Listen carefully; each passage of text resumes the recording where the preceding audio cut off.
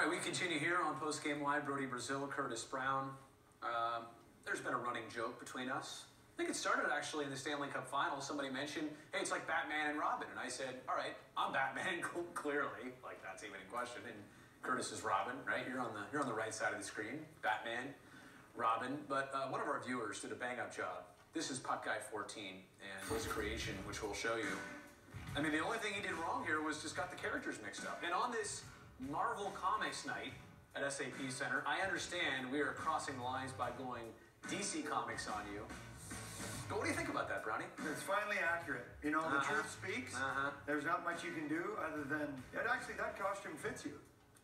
That fits nice. Is that a custom? As opposed to the suit I'm wearing right now? I'm not going there. NBC. Sports Gotham City. I mean, look at look at even the graphics are, are correct. You can't and the argue that. ticker is presented by Puck Guy 14. I mean, Beautiful. that is start to finish an awesome job right there.